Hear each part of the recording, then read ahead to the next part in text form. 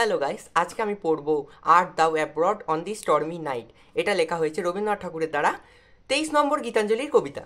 তো line by line analysis করার আগে তোমাদের কিছু বলে রাখা দরকার। এটা হলো এক ধরনের স্পিরিচুয়াল কবিতা। তো এই কবিতাতে দুই রকম পার্সপেক্টিভে স্পিকারকে ধরা হচ্ছে। একটা হলো প্রেমিক, তার প্রেমিকার প্রতি কীরকম পার্সপেক্টিভে দেখছে। আরেকটা হলো ভগবান, তার ভক্ত বা বিলাভেদদের কীরকম দেখছেন। চলো শুরু করা যাক। Art thou abroad on the stormy night, on thy journey of love, my friend? তুমি কি ঝড়ের রাত্রে দূরে চলে গেছো? আচ্ছা বন্ধু তোমার ভ্রমণের পথে জীবনের এখানে দেখো জার্নিকে দুরকম ভাবে ধরা হতে পারে। একটা হলো জীবনের ভ্রমণ একটা ভালোবাসার ভ্রমণ। মানে ভগবান কিংবা বিলাভেট তার প্রেমিকাকে কিংবা ভগবান তার অনুগামীদের জিজ্ঞেস করছে যে তুমি কোন রাস্তায় গেছো? কোন অন্ধকারাচ্ছন্ন রাস্তায় চলে গেছো? কোন রাস্তায় দূরে গেছো?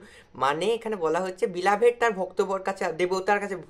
একটা মানুষ তার জীবনে তার উদ্দেশ্যর দিকে যেতে গেলে কত রকম রাস্তায় ভ্রম, মতিভ্রম হয় সেটার কথা বলা হচ্ছে। যে যে বিলাভেড মানে যে ভগবানের বিলাভেডরা ভগবানের কাছে যেতে হবে, সেই রাস্তায় কত রকম এদিক ওদিক যাচ্ছে, কিংবা তার প্রেমিকা, তার প্রেমিকার সঙ্গে দেখা করার সময় কোন রাস্তায় চলে গেছে, সেইটা নিয়ে গল্প। The sky groans like one in despair আকাশটা যেন আর্তনাদ করছে কষ্টে। এখানে কীরকম কষ্টে আর্তনাদ করছে তার মতো কষ্টে আর্তনাদ করছে। এইখানে সিমিলির ব্যবহার করা হয়েছে লাইক ওয়ান ইন ডেসপেয়ার এটা এক ধরনের সিমিলির ব্যবহার। কেউ যেন যন্ত্রণায় কষ্ট পাচ্ছে, এক ধরনের সিমিলির ইউজ করা হয়েছে। I have no sleep tonight সেই কারণে আমিও সারা রাত ঘুমাতে পারছি না। এখানে আমিও বলতে স্পিকারের কথা বলা আছে। স্পিকার দুরকম পার্সপেক্টিভে একটা ভগবান, একটা বিলাভেড একটা ভগবান, একটা প্রেমিক। মানে প্রেমিক তার প্রেমিকার জন্য এখানে কবিতাটা এক ধরনের স্পিকার মানে প্রেমিক হলো একটা স্পিকার ভগবান হলো একটা স্পিকার তাহলে কার ঘুম হচ্ছে না রাত্রে? চিন্তায়? না, প্রেমিকের প্রেমিকার জন্য কিংবা ভগবানের তার বিলাভেড তার ভক্তর জন্য ঘুম হচ্ছে না।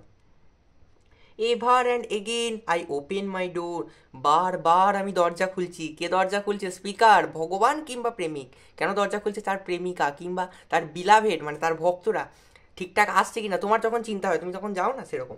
And looked out the darkness, my friend. এবং বাইরের দিকে তাকাচ্ছে সেই অন্ধকারের দিকে। কেন অন্ধকারের দিকে যাচ্ছি? দেখছি সেই অন্ধকারের মধ্যে থেকে তুমি আসছো নাকি? এখানে তুমি মানে আমি এখানে স্পিকার বলতে ভগবান কিংবা প্রেমিকের কথা বলা হচ্ছে।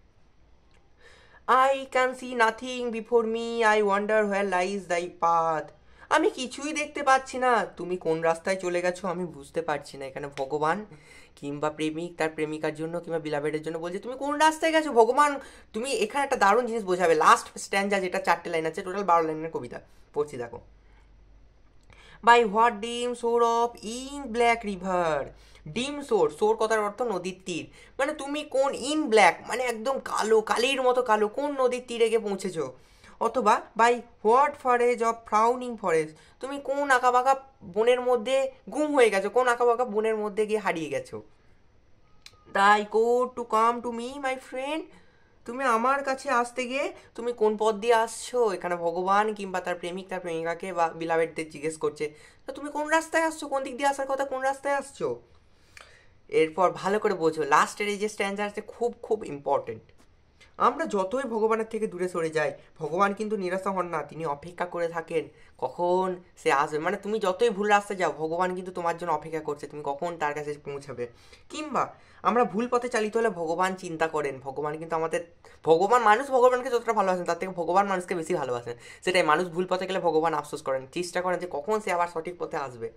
সেরকমই একটা প্রেমিক চিন্তিত হয়। প্রেমিকা যখন ভুলবার রাস্তায় চলে যায়, অথবা প্রেমিকা যখন জীবনে কিছু ভুল করে, তখন প্রেমিকের মনে চিন্তা হয়, সে বারবার চায় যার প্রেমিকা ঠিক রাস্তায় আসুক এটা হলো যদি গল্পটা ভালো লেগে থাকে, তো লাইক কমেন্ট অ্যান্ড সাবস্ক্রাইব